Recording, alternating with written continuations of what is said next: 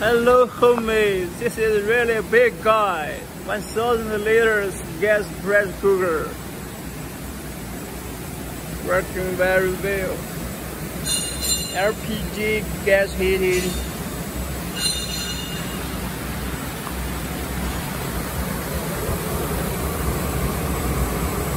Working good.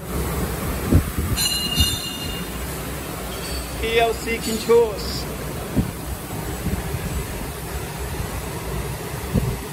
English control panel.